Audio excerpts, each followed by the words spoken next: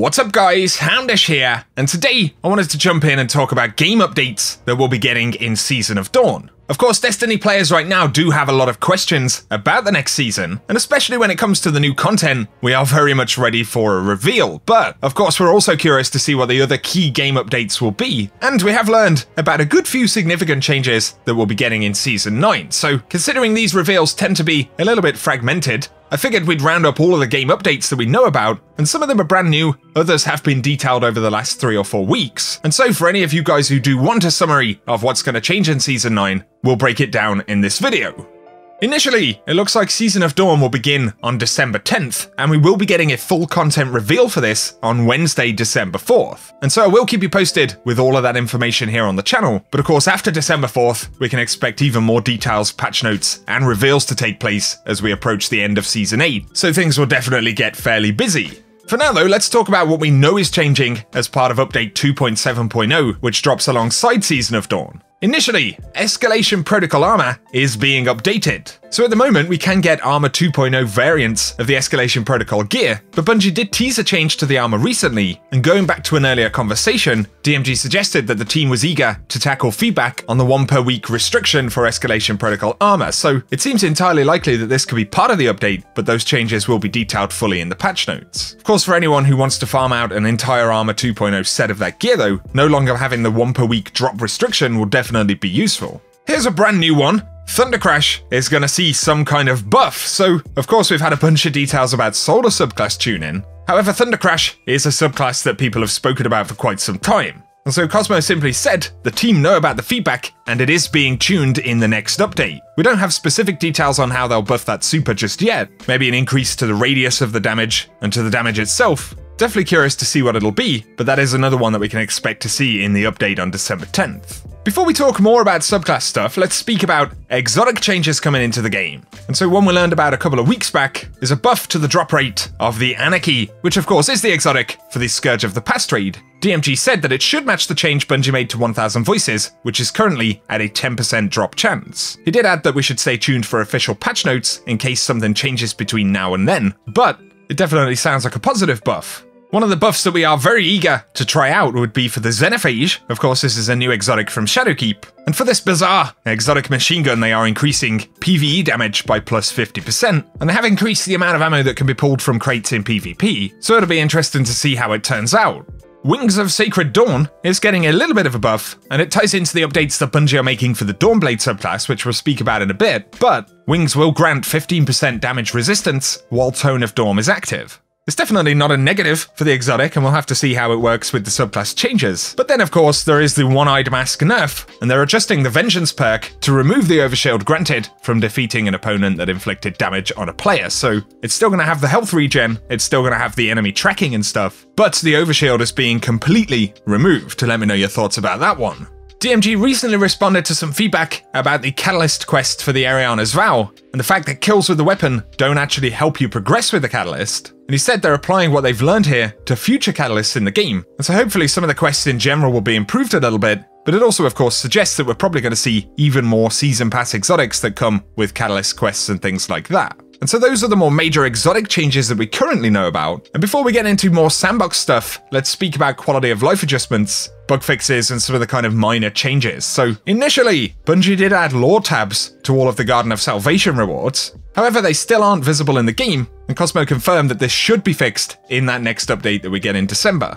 When it comes to the Iron Banner, there have been a lot of complaints about the Arsenal of Tricks bounty, and DMG has said that the team is aware and looking at changes to this for the future season. And from the way DMG said they're looking to update the bounty requirements, it looks like that one is going to remain in the game. And then of course we'll get a new quest or something for the reprised Iron Banner set that we'll get next season. Either way, hopefully no more annoying ability bounty. There is a triumph in the game called Perfect Gambit, and currently it isn't functioning quite as intended, but Cozmo did confirm that it's another thing that'll be getting fixed next season, so if that's one that affects you, it's definitely worth bearing in mind. DMG has also teased some changes that we're going to be seeing to Ada 1 and the Black Armory content, and of course, this season we have had a bunch of problems with things like the Izanagi's Burden quest but specifically feedback around the mod drops that you can get from Ada 1, rare Black Armory bounty drops and things like that, has continued, and so it looks like there will be further quality of life improvements for that content. And then also, we're going to be getting some improvements for mods in the game. So Bungie confirmed that they're introducing broad category mods for the ammo finder and scavenger categories that will be automatically unlocked for all players and give us kind of wider options for tinkering with ammo no matter what armor energy type we're using. That's obviously going to improve what we can do with some of the build stuff. Bungie are also removing restrictions on having multiple mods of the same type in a single piece of armor. That is bar a few exceptions, which they haven't specified just yet, but it will mean that we can stack things like hand cannon loader or shotgun ammo finder and those are just specific examples. And generally speaking, whenever you can stack a mod, it'll provide a similar benefit to what an enhanced mod would. So double pulse rifle loader should give you the exact same effect as enhanced pulse rifle loader. And so they're very good changes, but they are specific quality of life changes for general mods in the game. And remember, we will get a new seasonal artifact, so some of those mods will be updated and completely replaced. And because of the new 2.0 system, even pinnacle gear, and of course season passes and the artifact, all of those kind of seasonal systems systems are things that we'll probably get a good few changes outlined for in the next couple of weeks when we see full patch notes.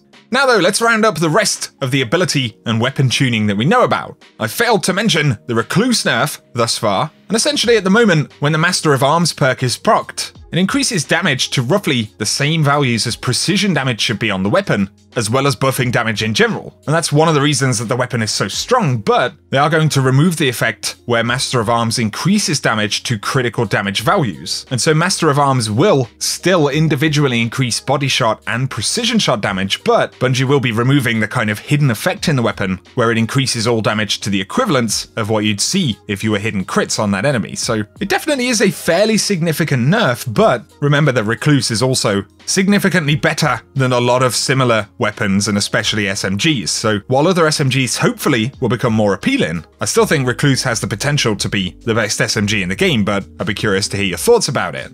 Separate to this, let's break down the subclass changes that Bungie are introducing for solar subclasses. And so, for top tree Dawnblade, Bungie are initially reducing the speed at which Burst Glide accelerates players in Daybreak. And they say that they know this will probably be a controversial change, but Icarus dashes, while in Daybreak, have increased speed and thrust to recapture the Burst Glide gameplay. On top of this, Icarus Dash can now be activated twice before it cools down, and then Bungie have introduced a new Celestial Fire melee where you can send a spiral of three explosive solar projectiles. That certainly sounds pretty cool. And they've also reworked the Heat Rises perk, and you can now consume your grenade to extend glide time and dramatically reduce the in-air accuracy penalties for weapons. And of course, some of these changes will kind of pair in with what they did to the Wings of Sacred Dawn, We've got a rework for Winged Sun, where you can fire weapons, use Celestial Fire, and throw a grenade while gliding, and then airborne final blows will grant melee energy and extend the duration of heat rises. There is this specific rework for Icarus Dash, tap crouch twice to dodge in midair, but dodging in Daybreak accelerates players farther and will cost less super energy while under the effects of heat rises. And so some interesting changes to get our heads around right there for the Dawnblade and we'll see how they play out in the game. But of course then, we have adjustments for bottom tree Gunslinger. Bungie say initially that for 3 shot, they've increased the auto aim distance and reliability when aiming down sights, and for 6 shot, they've shortened the damage fall off range to emphasize the short range gunfighter role with a lot of kill potential. However, they have made other changes, like introducing a new explosive prox knife that can stick to surfaces and detonate when enemies pass nearby, so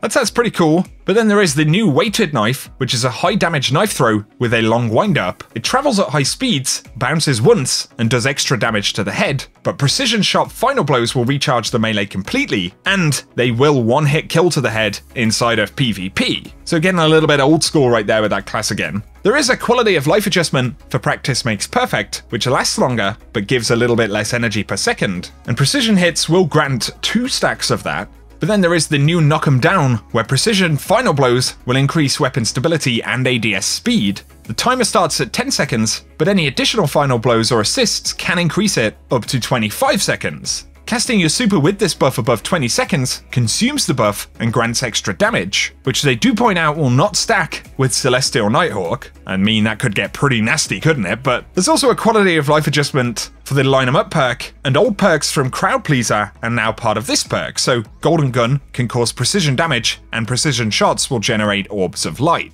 Then finally, we get to the Middle Path Sunbreaker, and the Roaring Flame perk has received a significant buff to its bonus damage. The buff will last 25% longer, and the base damage of Throwing Hammer melee ability has been increased. So they increased the impact damage of Throwing Hammer from 100 to 120, and increased hammer pickup radius from 2 to 3.5 meters, as well as adjusting some of the hammer throw animations. But then for Roaring Flames, they've increased the damage bonus from 10% per stack to 25% per stack in PvP, as well as increasing the duration from 15 to 20 seconds. For the Burning Maul Super, they've increased that duration from 21.2 to 28.5 seconds, and they've reduced the light attack energy cost from 5 to 3%, adjusted the animation so that it flows seamlessly into chain light attacks without stopping, but then for the heavy attack ground slam, it will now detonate when it detects enemies above it, and the detonation radius has been increased to make landing attacks more consistent, but it does have an increased energy cost from 6 to 8%, so there are a couple of trade-offs there, but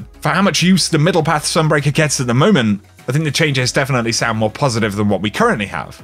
So guys, I believe those are all of the details Bungie have given us about game updates that we'll be getting in December. Of course, there is the content reveal that we're still waiting for, and so in terms of new stuff, new rewards, all of that, be sure to stay tuned here on Wednesday, as I will be live streaming what Bungie show off as part of that reveal. And DMG has told us that we can expect more information and patch note previews which I'd imagine we'll probably get either on Wednesday as part of the reveal itself, or, of course, in this week at Bungie on Thursday, where they tend to follow up with a few kind of answers and extra details. So, guys, I hope it has been useful. I know we've spoken about quite a few of these changes in different videos, but especially as we wait to get more information, we're at that quiet point in the season, I guess it makes sense to round all of this up and get a better picture of how the game is going to evolve. If you guys have enjoyed the video, a rating below is very much appreciated, and if you're new around here, be sure to get subscribed so I can keep you up to date with everything related to the game. But otherwise, thanks as always for tuning in, guys, and whatever you get up to, I hope you have an awesome day.